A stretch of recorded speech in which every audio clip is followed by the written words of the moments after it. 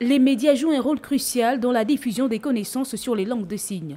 Au Gabon, nombreux sont-ils à avoir opté pour les interprètes de cette langue particulière. J'apprends la langue des signes depuis 2006. J'avais décidé d'opter pour faire un master en psycholinguistique, notamment pour l'acquisition de la langue des signes chez les enfants déficients auditifs.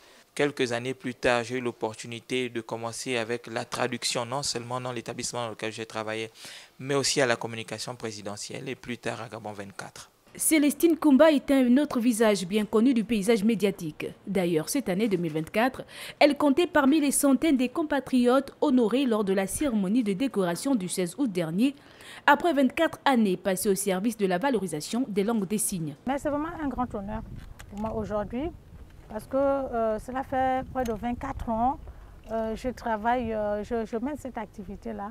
Et c'est aujourd'hui la première fois l'État m'honore. Aujourd'hui, les défis sont énormes et Manassé Mardine Mavungu reste engagé à davantage promouvoir cette langue. Parce qu'il faut comprendre que euh, c'est quelque chose de particulier que d'utiliser une langue non orale, mais qui demande non seulement beaucoup de, de connaissances de la langue, mais aussi d'acuité.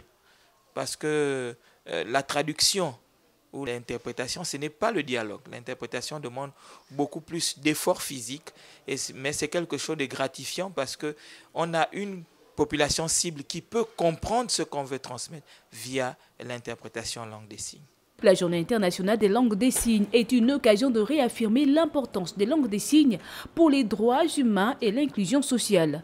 L'édition 2024, avec son appel à signer pour l'égalité, rappelle que la lutte pour la connaissance des langues des signes est une lutte pour l'égalité de tous dans la société.